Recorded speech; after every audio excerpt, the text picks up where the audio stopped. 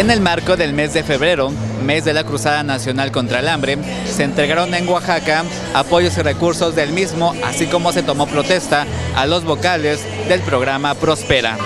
En presencia del subsecretario de Planeación, Evaluación y Desarrollo Regional de la Secretaría de Desarrollo Social, Juan Carlos Lastire Quirós, el presidente municipal de Oaxaca de Juárez, Javier Villacaña Jiménez, reconoció el trabajo de la dependencia en la capital del estado y las colonias más vulnerables, así como los 12 millones de pesos aplicados en el programa de empleo temporal a través del proyecto Verde Antequera además de apoyos con estufas ahorradoras de gas, muros firmes, proyectos de captación de agua, integración de mujeres al programa Jefas de Familia, las 1.600 familias beneficiadas con las lecherías Liconza, becas escolares, entre otras.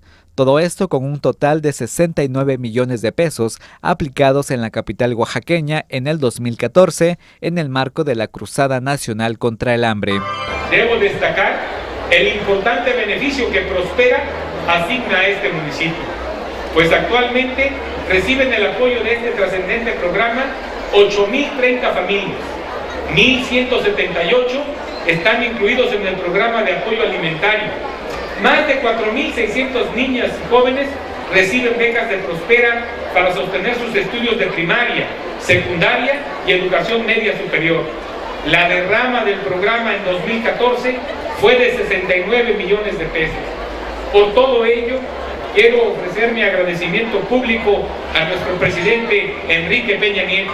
Durante la ceremonia se hizo la entrega simbólica de seguros de vida para jefas de familia. Se entregaron tarjetas de Liconza y Prospera, apoyos monetarios, becas educativas del programa Bienestar del gobierno estatal, entre otros, así como la firma del convenio de concertación para estancias infantiles.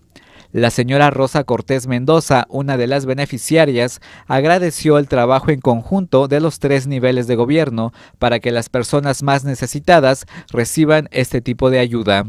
Gracias a esto, tengo la oportunidad de que mis hijos y mi familia tengan un mejor bienestar.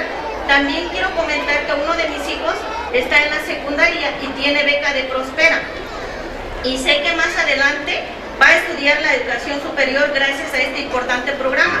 De esta forma fue como los beneficiados del programa de la Cruzada Nacional contra el Hambre recibieron los beneficios en la capital oaxaqueña. Con imágenes de Rafael Vargas, informó para MBM Televisión Celestino Chacón.